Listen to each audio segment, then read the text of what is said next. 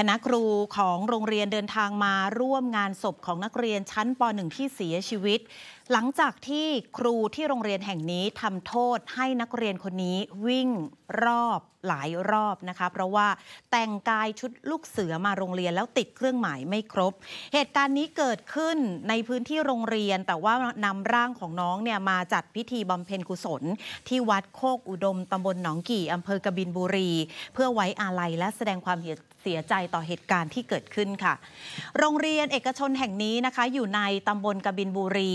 ครูที่สั่งทำโทษให้ข้อมูลว่า เด็กชายคนดังกล่าวถูกทำโทษด้วยการให้วิ่ง แต่เป็นการวิ่งวงกลมรอบร้อม วงรอบของกลุ่มลูกเสือ ซึ่งนั่งอยู่ในนั้นรวมกันนะนะคะ ให้วิ่งไปประมาณ 10 รอบ แต่ปรากฏว่าเด็กเนี่ยวิ่งได้ 5 รอบก็เกิดอาการอ่อนเพลีย แล้วก็เป็นลม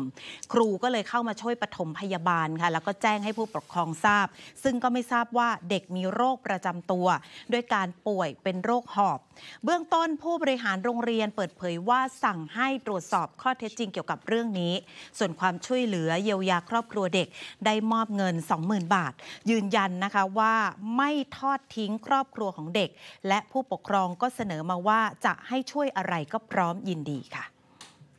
ตอนนี้ทางโรงเรียนก็อยากจะทราบความข้อเท็จจริงทั้งหมด แล้วส่วนเรื่องการช่วยเหลือนั้นก็คือโรงเรียนไม่ตัดภาระอยู่แล้วยังไงก็ต้องดูแลจนถึงที่สุดอะเราจะดูแลตลอด ทางด้านของครอบครัวของเด็กก็ได้รับเงินช่วยเหลือไว้นะคะ และไม่ติดใจเอาความแต่อย่างใดค่ะ แต่ต้องการให้กรณีนี้เป็นบทเรียนให้กับครูและนักเรียนนะคะ อยากให้เพิ่มความระมัดระวัง ตรวจสอบสอบถาม แล้วก็สอบประวัตินักเรียนก่อน ว่าเด็กแต่ละคนนั้นมีโรคประจำตัวหรือไม่ค่ะ